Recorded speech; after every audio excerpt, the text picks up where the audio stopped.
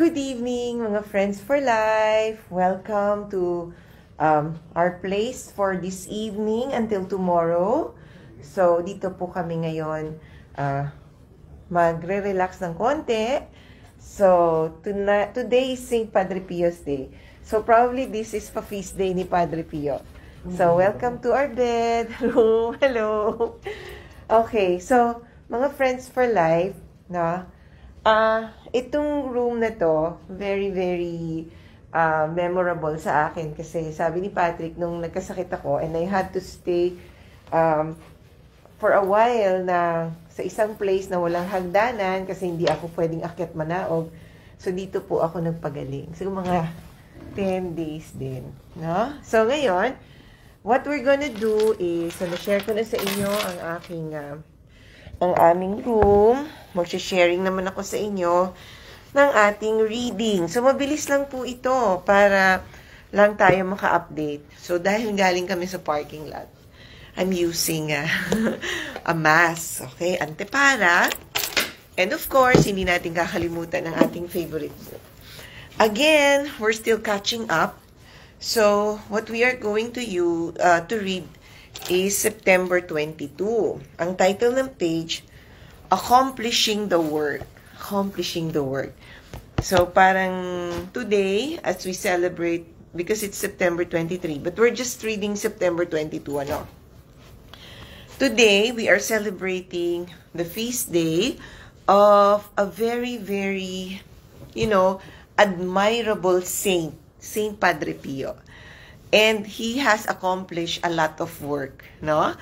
Um, that's why, of course, joining the celebration today, we went to Padre Pio, we heard the Mass uh, that was celebrated by Father Jerry Orbos, and we learned a lot for us, far as our spiritual growth and uh, values are concerned, we were nurtured. And we hope that the same happened to all the people who celebrated uh, the feast day of St. Padre Pio um, with the mass uh, attendance, no?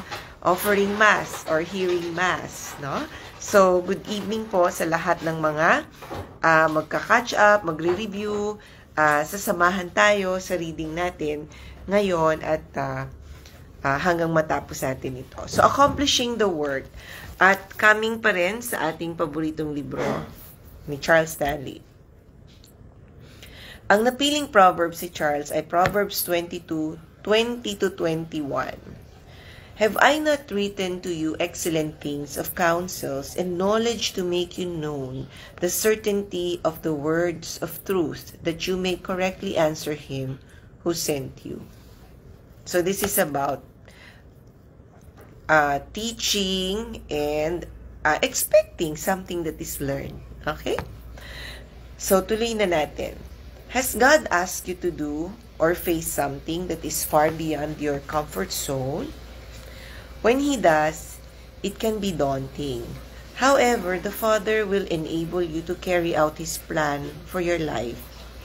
When you fall short of accomplishing the goals He has set for you, It's not because He has failed to provide you with what is necessary. Instead, the failure is usually the result of an attitude or belief that short circuits your faith. As a result, the flow of God's power is hindered in your life. Ganda. Simple lang.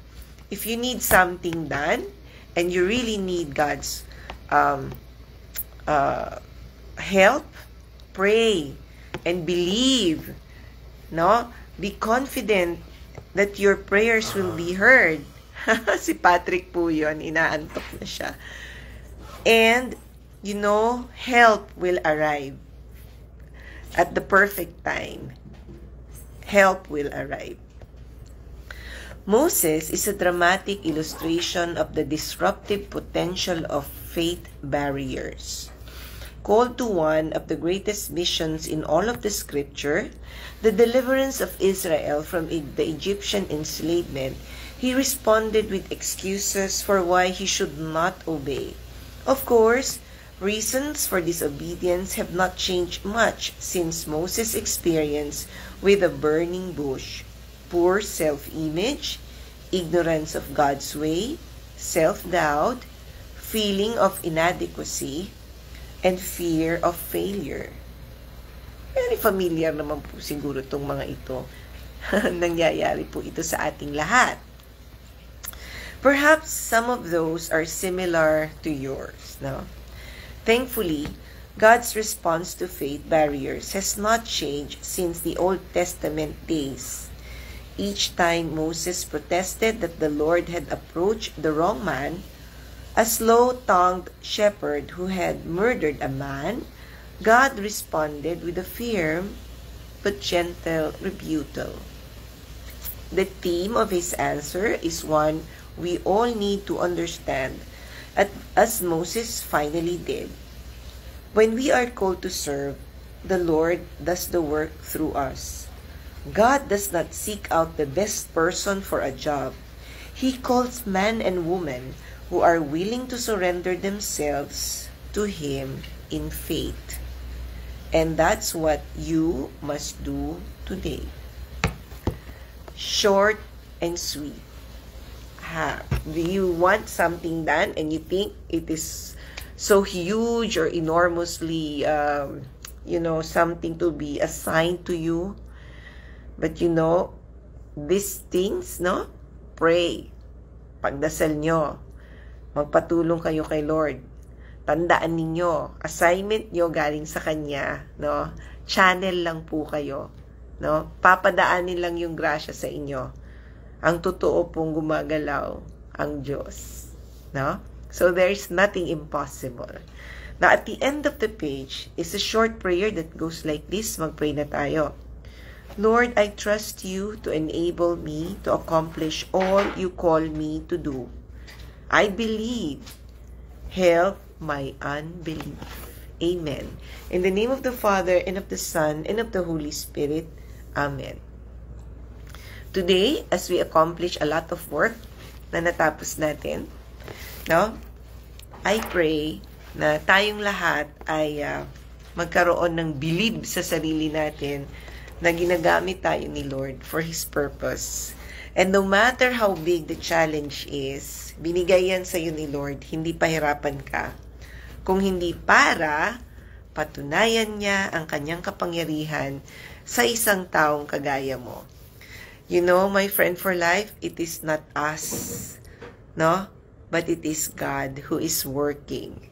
That is why in all our successes and in all the things that came to our life, na, na nagpaganda ng hindi lang ng buhay natin, pati ng buhay ng mga tao sa na nakakabit sa buhay natin.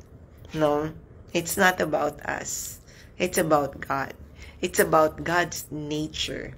So whatever it is that you are facing right now, always remember to magnify the presence of the Lord sa buhay nyo. Sabi nga ni Father Orbos, ni Father Jerry Orbos, ang kakaiba daw po kasi sa mga tao ngayon, reklamo ng reklamo, minamagnify ang problema nila meron silang maliit at katiting na problema. Pagsasabi nila yon, pinapalaki nila. Hanggang sa yung kausap nila, may problema rin. So, anong nangyari? Palakihan sila ng problema. hindi nila naisip, hindi natin naisip na may mas malaking Diyos na tumutulong sa atin. So, just like Mama Mary, in her Magnificat prayer, sabi niya, My spirit magnifies the Lord. So, ibig sabihin, nakikita niya ang Diyos na mas malaki kesa sa challenges na hinaharap niya. Ang prayer ko, sana tayo rin. Sana tayo all. No? Sana tayo din. So, yan na mga ka-friends for life. Uh, umaga na naman, tumawid na naman ng isang araw. Uh, bukas, babasa tayo dalawa para makahabol na talaga tayo sa backlog. Pero, I guess, The reason why nalilate tayo kasi akmang-akma po yung mga uh, pages na binabasa natin sa nangyayari sa araw. So, yun na. That's it mga friends for life. Thank you so much for catching me, for reviewing my my personal vlog, for for for joining me in my sharing. So, that's it. Wala na akong ibang sasabihin. Take a good night's rest. You need it. We need it. So always remember your natural MD loves you. Good night, sweet dreams. I love you all. Bye.